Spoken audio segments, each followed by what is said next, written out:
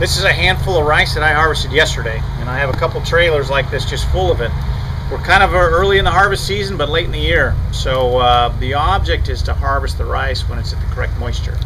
I'm a little high right now, about 24%. That's kind of uh, a little more than I want to do. It takes a lot more energy and cost to dry this rice down to that 14% so we can store it. I think another couple days of these high temperatures outside will uh, get rid of these green kernels. These green kernels are what's getting me. They're not quite fully mature. Um, it takes a lot of heat to turn them into a little golden grain, uh, but I'm getting close. So, uh, but I'm in a hurry because it's late in the year. I don't want to be up against uh, late November harvest time. So it's uh, it's coming along.